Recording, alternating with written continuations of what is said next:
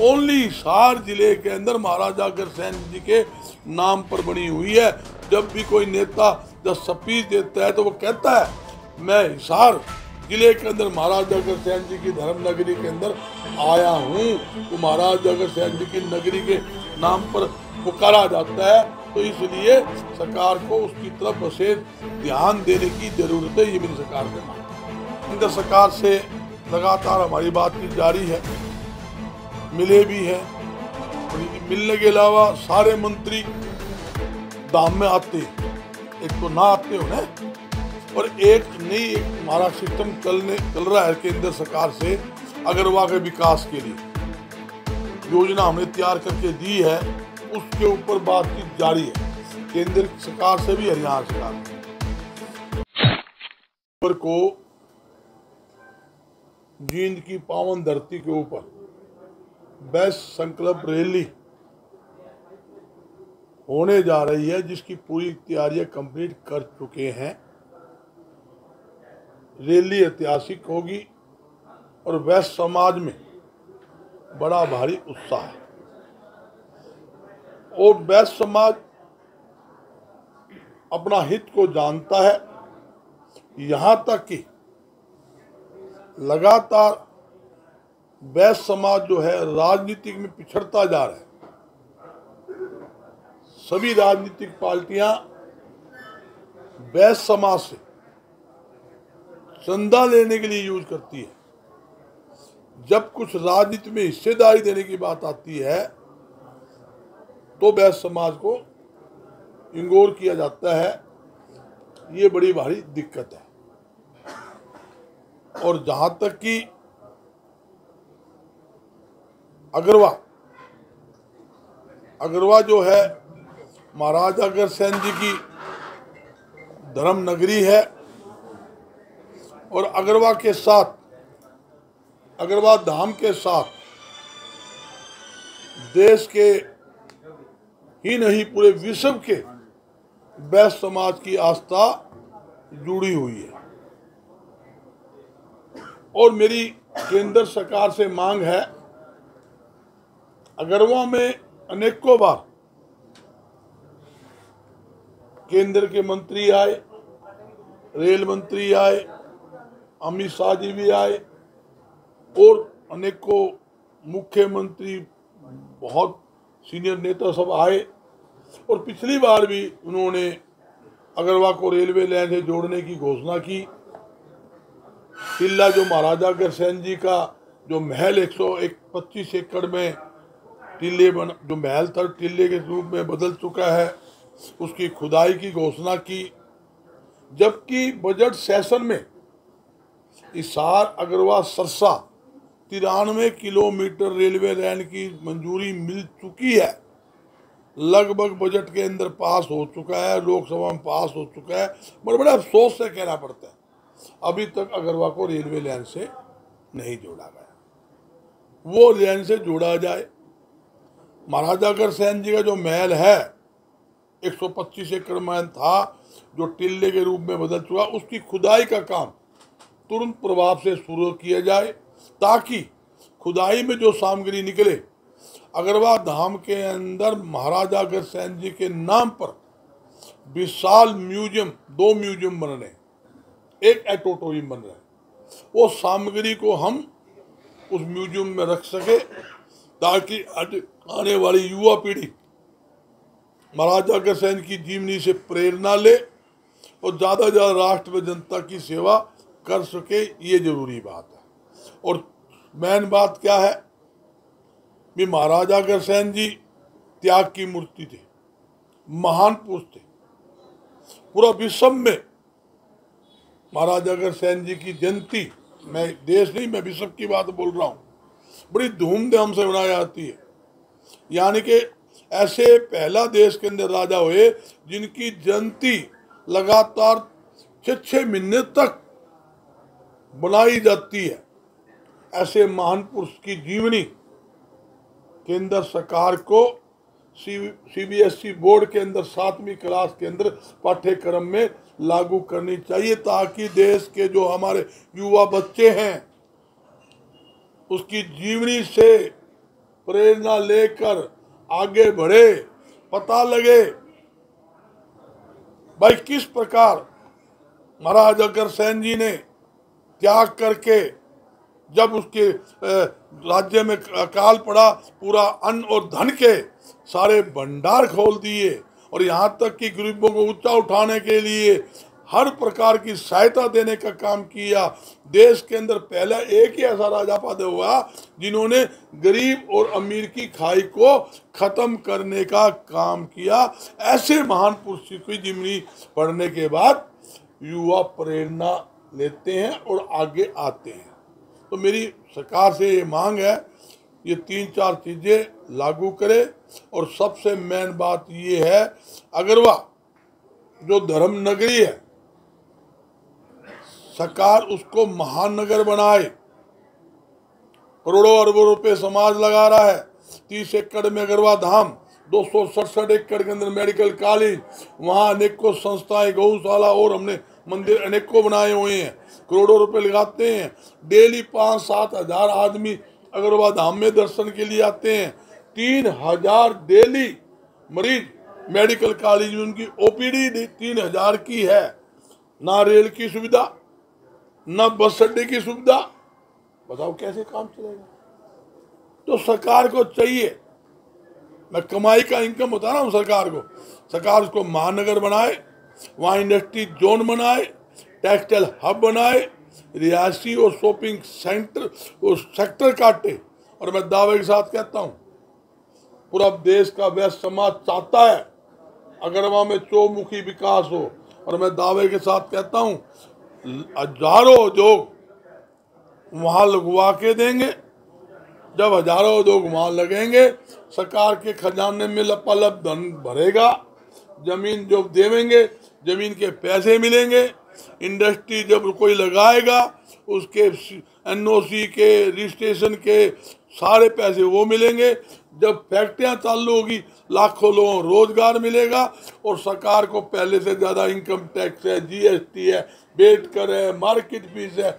इतना धन सरकार के पास आएगा, सरकार के खजाने में धन भरेगा, लाखों बेरोजगार रोज़गार मिलेगा और लोग उस धर्म नगरी में काम करके और लोगों की सहायता करेंगे, ये ज़रूरी है। और वहाँ एक पर्यटन स्थल अगर वह को पर्यटन स्थल भी सरकार को घोषणा करनी चाहिए। ये मेन ज़रूरी बात है, ताकि लोग दूर दूर से जाते हैं पता लगे कि क्या चीज़ है, क्या बात है? जो धर्म नगरी है, देखिए आप एयरपोर्ट वहाँ पे महाराजा के नाम पे। तीस एकड़ में धाम, दो सौ सड़सठ एकड़ मेडिकल कॉलेज सरकारी हॉस्पिटल महाराजा कर सैन के नाम पर। अनेकों हमारे स्कूल, अनेकों हमारे हॉस्पिटल अनेकों हमारी धर्मशाला, अनेकों हमारे भवन, अनेकों गौशाला ओनली हिसार ज़िले के अंदर महाराजा अग्रसेन जी के नाम पर बनी हुई है, जब भी कोई नेता जब स्पीच देता है तो वो कहता है, मैं हिसार ज़िले के अंदर महाराजा अग्रसेन जी की धर्म नगरी के अंदर आया हूँ वो महाराज अग्रसेन जी की नगरी के नाम पर पुकारा जाता है तो इसलिए सरकार को उसकी तरफ़ विशेष ध्यान देने की ज़रूरत है ये मेरी सरकार से मांग जो आप बता रहे हो क्या कदम उठाया जा रहा है? क्या कदम उठाया देखिए कदम तो क्या है?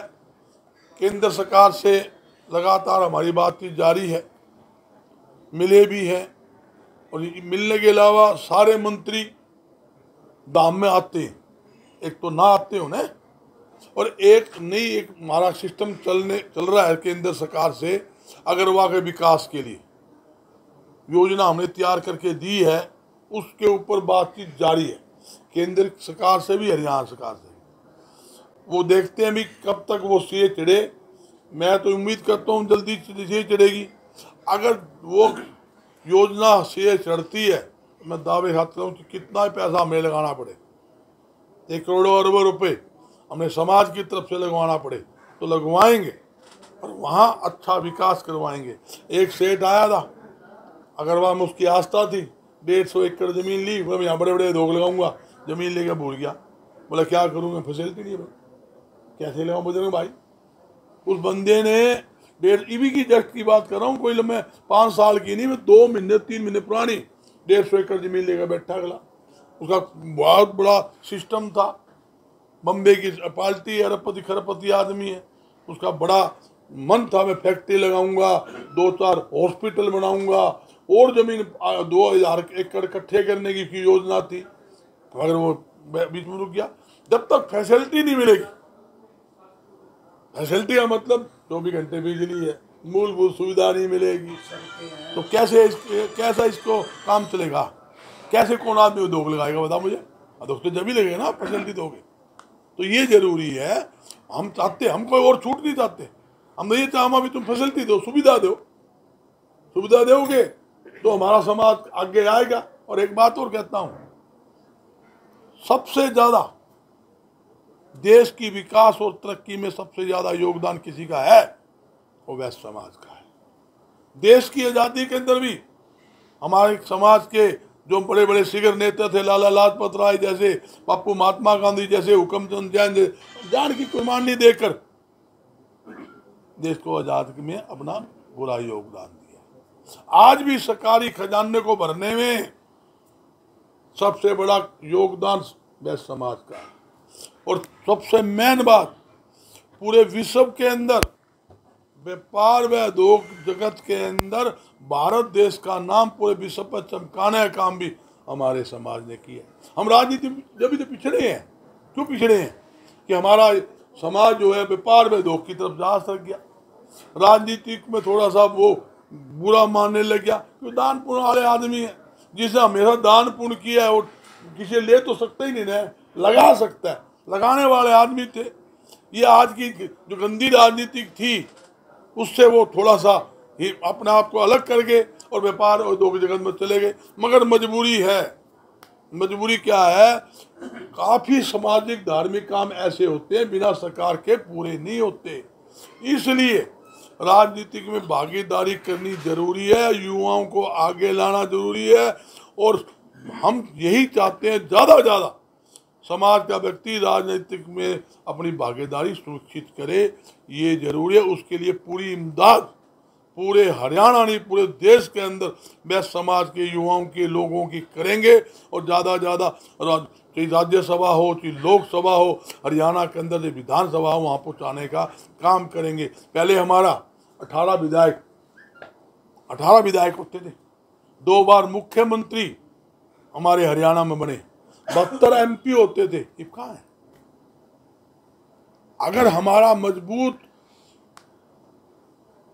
हमारे आदमी मजबूती से विधानसभा में जाएँगे, हमारा बहुमत होगा, लोकसभा में होगा तो हम अपनी बात को उठा सकेंगे, देश के व्यापारियों को राहत दिला सकेंगे, आम जनता को सुविधा दिला सकेंगे, हरियाणा में दिला सकेंगे, इसलिए संघर्ष कर रहे हैं, ना कि हमारे खुद के पेट के लिए नहीं, हम तो जनता की लड़ाई करते हैं, जनता के हित में हम हम खड़े होते हैं, जनता को आगे ज़्यादा ज़्यादा है। आप बताओ, पिचा, नब्बे परसेंट, पचानवे परसेंट का बच्चा, उसको तो नौकरी नहीं मिलती सरकारी के अंदर, या कोई में एडमिशन नहीं मिलता।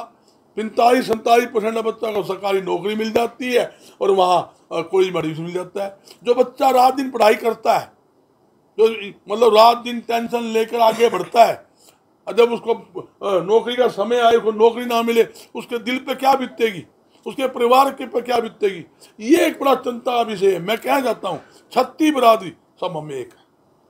वह समाज सबको साथ लेके चलता है। सरकारों से अपील है, भाई, जो समाज के जितना भी है, अच्छे जब बच्चे हैं पढ़े लिखे बच्चे हैं, योग्यता के हिसाब पर उनको नौकरी दी जाए। जो ज़्यादा जिसके नंबर है, जो ज़्यादा समझदार, ये बताओ, पैंतालीस परसेंट का बच्चा तो डॉक्टर बन जाए।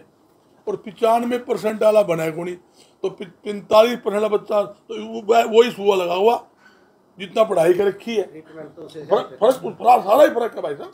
ये मतलब क्या पीड़ा है? जब मैं जाता हूँ पूरे देश के अंदर, जब लोग कहते हैं ना, एक भाई, मैं मेरा बच्चा रात दिन पढ़ाई करा तीन तीन बजे तक उसको नौकरी नहीं मिलती। डबल एम ए किया बच्चा। पीएन की नौकरी धक्के खा रहे। ये दिखते हैं। थोड़ा सिस्टम में सुधार की ज़रूरत, कोई लोचना नहीं। सब हम एक है। हम कोई सरकार के खिलाफ नहीं, हम सरकार के साथ खड़े हम चाहते हैं सरकार अच्छा निर्णय ले। मैंने सरकार से मांग रखी है उन्हें कोई लोचना नहीं। सरकार अच्छा काम करेगी उसकी बल्ले बल्ले होगी। स्वागत होगा। अच्छा काम लेना चाहिए, अच्छे पैसे लेने चाहिए। जब हम पैसे लगा रहे अपने दम पर हम काम करने तैयार है तो सरकार को क्या दिक्कत एक दिक्कत सवाल आपसे सर मेरा आपने बात की है नौकरियों में जो डाइवर्जेशन सिस्टम है, पैंतालीस परसेंट या फिर जो नब्बे परसेंट वाला वो रह जाता है। और सरकार है जो सबका साथ, सबका विकास की बात कर रही है तो ये डाइवर्जेशन सिस्टम में क्यों नहीं खत्म कर है? सुनो, सरकार का सिस्टम अपना होता है। मेरा सिस्टम है छत्तीस बिरादरी का। मैंने किसी का नाम नहीं लिया, मैं मेरे बेटे बेटे के वास्ते, मेरे बच्चे के वास्ते, मेरे रिश्तेदार नहीं करा मैं मैं सभी समाज के लिए बोल रहा हूँ। सारे समाज हमारा है। बेस्ट समाज समाज वो समाज है सत्ती बरादरी को साथ लेकर चलता है। और खास बताऊँ बेस्ट समाज का किसान का चोली दामन का साथ साथ दे जानता है। हमारा पारिवारिक समझ रहेगा। पहले भी था आज भी और आगे भी रहेगा। मैं मैं मैं, मैं, मैं उसी लाइन पर। मैं सुनो सुनो मैं ये कह जाता हूँ ये सोचने की ज़रूरत है समझने की ज़रूरत है। कई चीज़ें ऐसी होती है खुल के नहीं बोली जा सकती मगर आप ये बताओ आपका एक भाई है उसने नब्बे नंबर परसेंट नंबर लिए पचानवे ले लिए। जब वो नौकरी लेने के लिए जावे मेरा बच्चा है पचास परसेंट उसको तो एडमिशन मिल जाए उसको तो एम में एंट्री मिल जाए उस तो आपके बच्चे को क्या बीतेगी मैं ये पूछना चाहता हूँ उस बच्चे क्या बीतेगी हूँ तो मैं- मैं- मैं ये- सर क्या है कि इसको खत्म कैसे किया जाएगा? खत्म नहीं होता सरकार तो कह रही है कि सबका साथ सबका विकास तो सबको एक पैमाने पे क्यों नहीं रखा जा रहा है? मैं यही कह रहा हूँ सबको जो बच्चे हैं आप सब बच्चों का मनोबल बढ़ाओ। सभी को अपने राइट टाइम को दो। आज बड़ी बड़ी कंपनियाँ जो सब बच्चा पढ़ा लिखे होते हैं ना, वो पढ़ते पढ़ते नेट पर देख के उनको नौकरी पे ले लेती, ठा लेती है। ऐसे ऐसे बच्चे देखे मैंने जिसका पैकेज एक एक करोड़ रुपए महीना का है। मैं बोला, इसमें क्या खास बात है? बोला ब्रेन है। मैं ब्रेन ब्रेन तो मेरे भी है। बोला, इसका कंप्यूटर ब्रेन है। अंकल जी, कंप्यूटर तो बाद में काम करता है, इस बच्चे का काम पहले करता है। आप ये बताइए, उस बच्चे को हम अच्छी नौकरी ना मिले, उस बच्चे को जो कंप्यूटर जिसका दिमाग है, उसको वो स्थान ना मिले उस बच्चे पे क्या बीतेगी उसके परिवार पर क्या बीतेगी ये सोचने की बात है, ये समझने की बात है, मैं बिल्कुल एक क्लियर हूँ, अपनी बात पर स्टैंड और क्लियर हूँ कि सभी को छत्ती बरादरी को समान रूप से अधिकार मिलना चाहिए, बच्चों को आगे लाना चाहिए। सरकार को खास तौर पे व्यापारी व उद्योगपतियों की तरफ़ विशेष ध्यान, अगर बेरोजगारी खत्म करना चाहते हैं तो। और तीसरी बात वैश्य समाज जो आजकल हमारा राजनीति के अंदर जो थोड़ा सा पिछड़ता जा रहा है या हमें राइट कम मिल रहा है उसकी तरफ़ सभी राजनीतिक पार्टी, मैं किसी एक की बात नहीं कर रहा, मैं सभी कह रहा हूँ, सभी राजनीतिक पार्टियों को उसको अच्छे ढंग से हिस्सेदारी देनी चाहिए ताकि अच्छा आदमी आएगा, लोकसभा में अच्छी बात करेगा, विधानसभा में अच्छी बात करेगा, जनता के हित की बात करेगा, चार रुपये घर से लगा के, पल्ले से लगा के विकास भी करवाएगा, इसमें कोई दो राय नहीं, ये ज़रूर। हो गया? कहा, एक मांग रखी भी आपके सामने, महाराजा अग्रसेन जयंती।